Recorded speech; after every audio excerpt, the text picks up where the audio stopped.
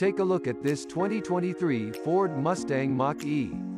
Equipped with an automatic transmission in space white metallic. This car comes with some great features including adaptive cruise control, heated steering wheel, Android Auto, Apple CarPlay and more. Come in and check it out today.